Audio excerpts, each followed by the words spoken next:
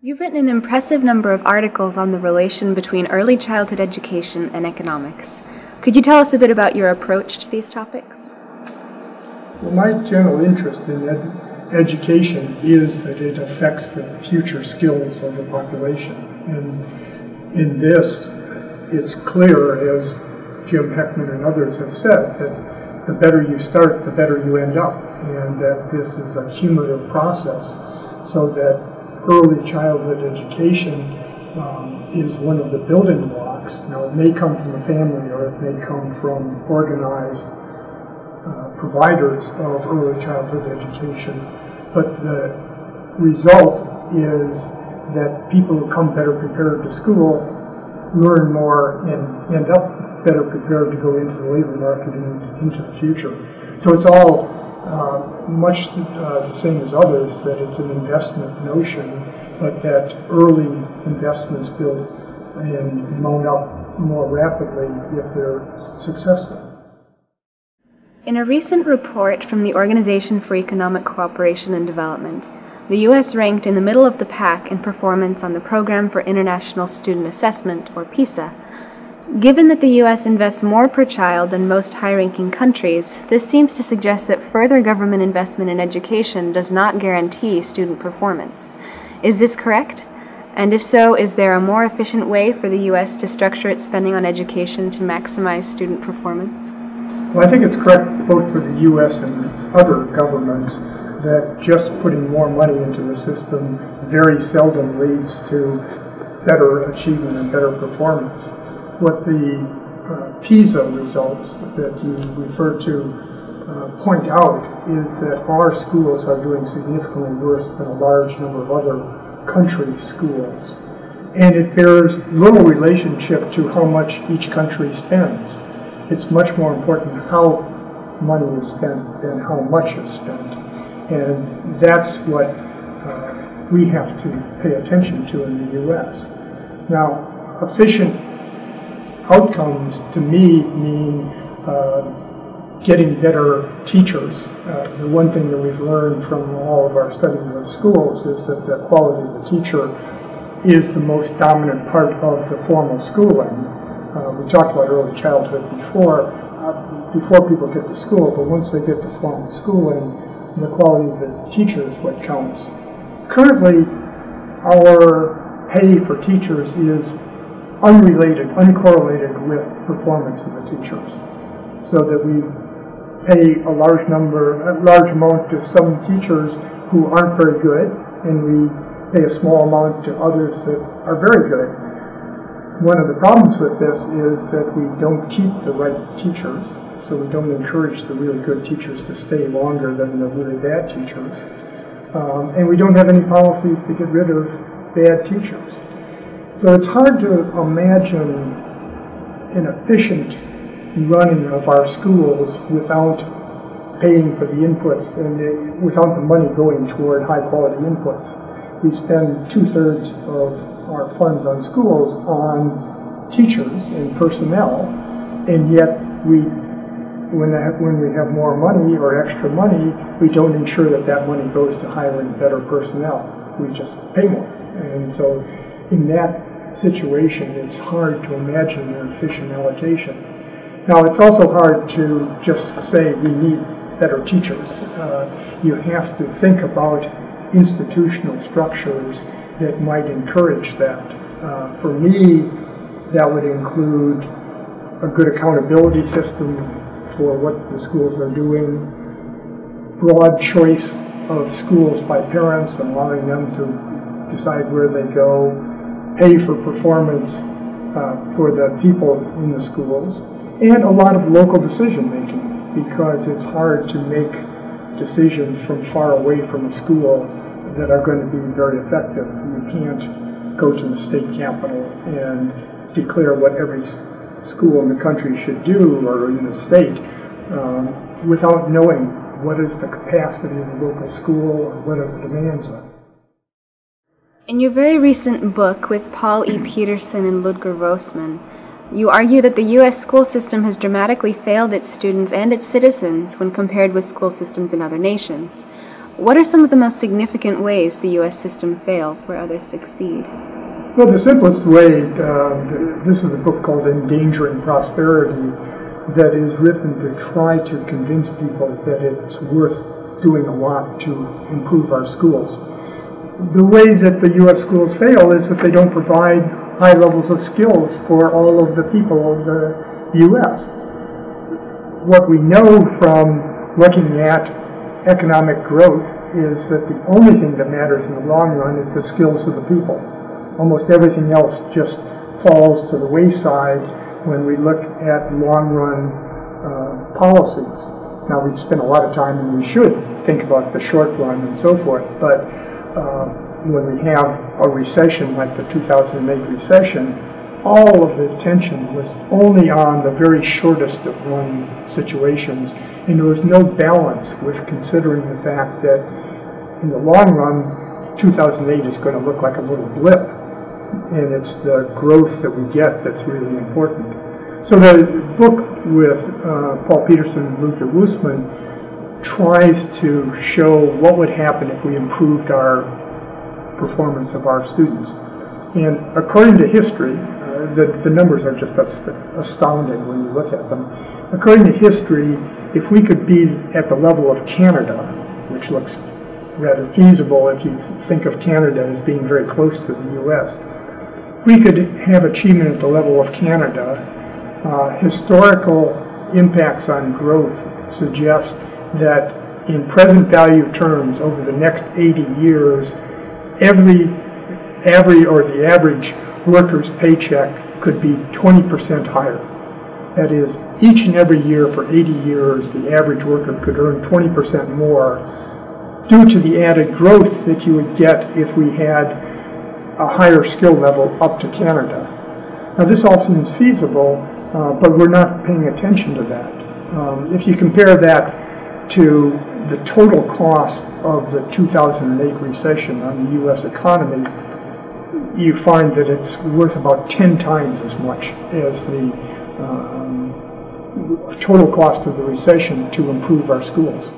How could we change the structure of the U.S. school system in order to remedy these failures?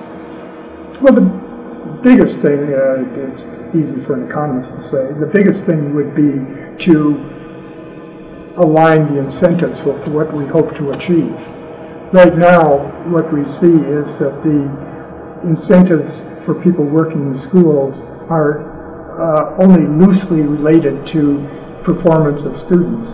And so what you would like to do is to get everybody working toward improving the achievement of students as opposed to ensuring the uh, wages and benefits of the adults in the school. So this, uh, to me, comes back to the, what I mentioned before. The things that we know that work from international evidence uh, include better accountability systems, more choice of schools, more local autonomy, pay for performance, and of course, as we talked about, also getting kids prepared for school better in early childhood and, and other uh, other additions uh, or complements to what the family does. Would it be sufficient that the U.S. improve its educational performance, or must it also improve its ranking on a global stage? Well, I don't think we have to improve our ranking per se. It's the skills that are important. Um, in my view, everybody can can in fact grow faster and do better. And it's not that we um, pull ahead of the Germans or the Canadians or the Singaporeans. Um, it's more that we increase the quality of our skills. Now, the rankings will, uh, by standard international trade ideas, imply what kinds of jobs we do and what our role is relative to other countries. Um, and there are certain advantages, obviously, to being at the top of the rankings economically. We see that in terms of our ability to run a foreign policy that we like and a defense policy and other things that are related to our economic stature in the world. If everybody else grows grows rapidly and surpassed us, which is not going to happen soon, but if they surpassed us, that would dramatically affect our ability to influence the rest of the world. In a recent paper, you argue that individuals who received vocational training rather than a general education experience diminished employment later in life, given the current and continuing rapid changes in technology. This might seem surprising to many, as vocational training is typically viewed as a more secure means to future employment. Could you speak on the differences between vocational and general education that explain this surprising result?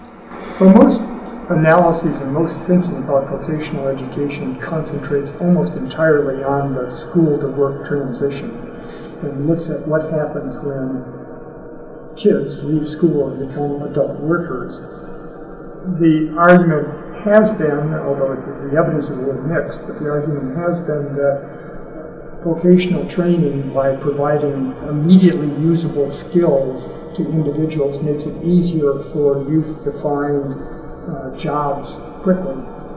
What we concentrate in recent paper on vocational education is the skills of the entire life cycle.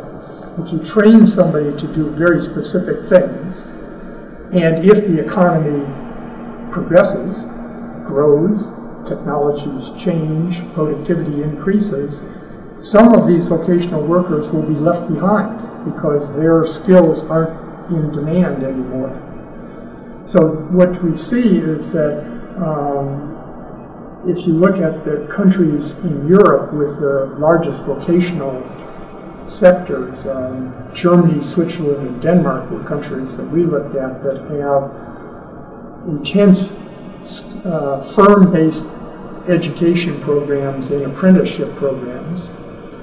These uh, countries show that employment rates of people with vocational education start going down in the late 40s and early 50s of age and go down much more rapidly than the employment for those with general skills.